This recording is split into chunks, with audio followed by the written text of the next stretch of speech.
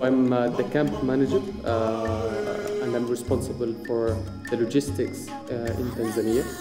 I've worked for Operation Wallacea for nine seasons, uh, seven of them in Egypt, one in Mexico, and uh, one.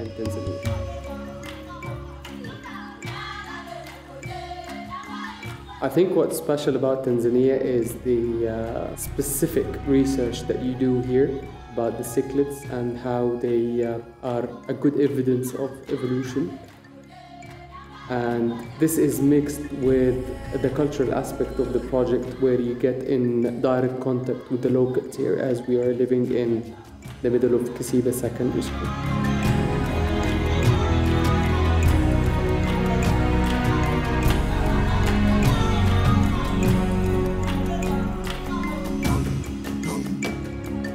Around this area, there are several different crater lakes, um, and so the students are going to be focusing mostly on Lake Masoko because this is our uh, core study area.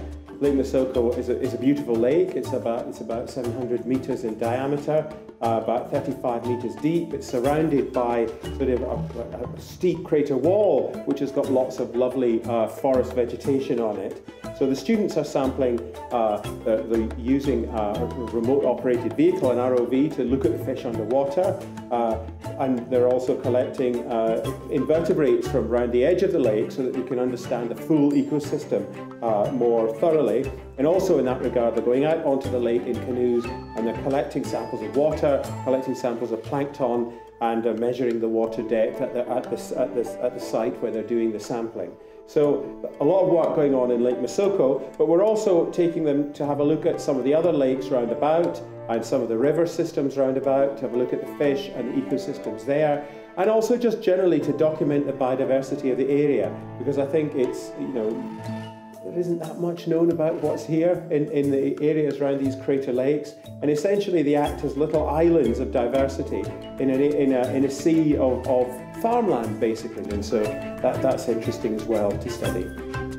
There is also a cultural aspect to the project where we run uh, a cultural workshop with the students, the Tanzanian students here at Kasiba Secondary School, uh, where the students get to know more about the community and the culture and the language of people living here. Uh, so Tanzania is the first uh, part of their expedition here in the Great Rift Valley project. Then they move on to uh, the Malawi site where they learn how to dive.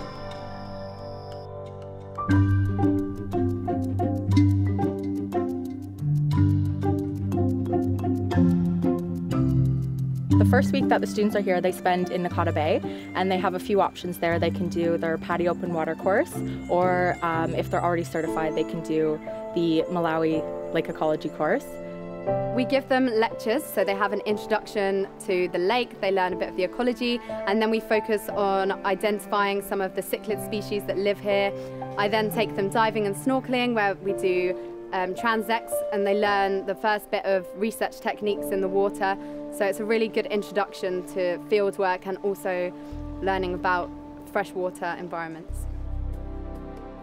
This is Operation Wallacea's only freshwater and only altitude diving site.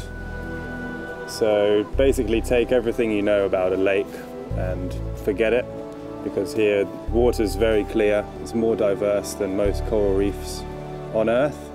The fish are very colourful, the diving is perfect, it's a perfect environment to learn in and the biology and the ecology here is, is just fascinating.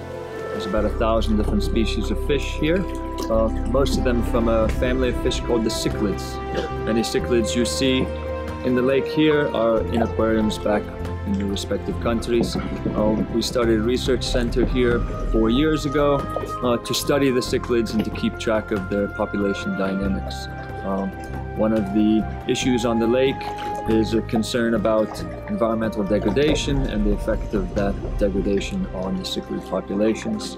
Uh, so we go down monthly and do what are called population and biodiversity surveys using scuba equipment. We also do some water quality monitoring on the lakes uh, and on the rivers Uh, and finally, we work with fishing communities and help them to understand the effect of their fishing on the fish in the lake and uh, how to better manage uh, that fishing.